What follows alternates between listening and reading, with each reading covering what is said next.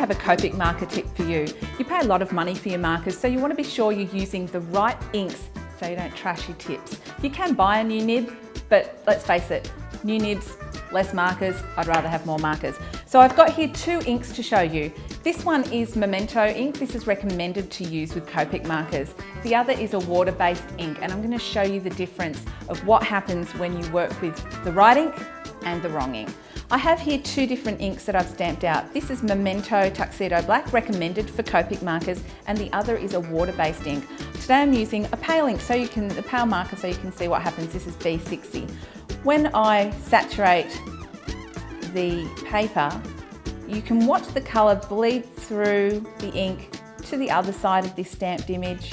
And this is how you test your markers and your computer ink as well. And when that blue comes out the other side, it's coming out clean. It's not dragging any of the ink with it. If you run a test and the ink starts to bleed through, that's going to wreck the nib of your marker. So I'm going to show you what will happen on a water-based ink. And I'm not going to touch it with the actual nib. I'm just soaking the paper and watching it flow through the ink and already I can see that it's starting to drag some of that brown ink with it. So now you know a water-based ink pad it's not going to work with your Copic markers. Okay, so sometimes you might want to stamp a greeting on your card and you want it to coordinate, but you don't have the right colour ink pad. It's all, you, know, you can't run down to the shop at midnight, it just doesn't happen that way. So I'm going to show you how you can actually ink up your stamp with your Copic marker and get a lovely printed greeting that matches perfectly. What you need is a stamp. First off, I'm using a beautiful greeting from the Whimsical Words Darkroom Door set. It says smile, which I think is beautiful for a card. I'm actually got that on a, an acrylic block and I'm just going to colour over the top with my brush tip and ink up that, uh, that stamp. Now, this is drying as fast as I'm putting it down.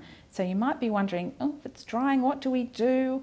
Well, it's very simple. You need your zero colourless blender on your Express It cardstock and what you're going to do is colour, prime up the paper in your zero colourless blender in the area that your stamp is going to take. And you need to work a bit quickly. When you stamp it and the Copic marker ink hits that colourless blender, it will be rehydrated and you are left with a perfect coordinating image to match the image that you just coloured in. So there's a couple of tips so that you can get the most out of your Copic markers. Thank you for watching. See you next time.